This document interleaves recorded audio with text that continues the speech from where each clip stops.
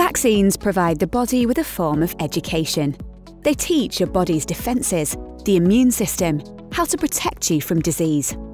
Vaccines contain a safe form of the pathogen, a bacteria or a virus, that causes the disease you're being immunised against. The body's natural reaction is to attack that pathogen by creating antibodies. Having been exposed to a particular pathogen once, the immune system remembers it if it's encountered again and is able to fight it off before it can make you sick. You are now immune to the disease. Not only are vaccines safe, but they are the most effective way of protecting your child against disease. During their first few years, your child will be offered immunisations against a number of different diseases, sometimes against multiple diseases at the same time. This is known as the immunisation schedule. It's been designed so your child is vaccinated when the vaccine will be most effective, so it's important to stick to the schedule.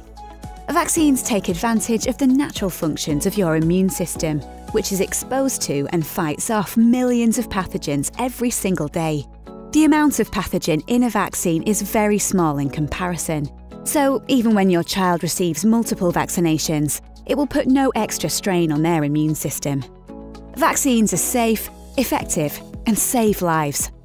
If you have any questions about vaccines, then speak to your healthcare professional.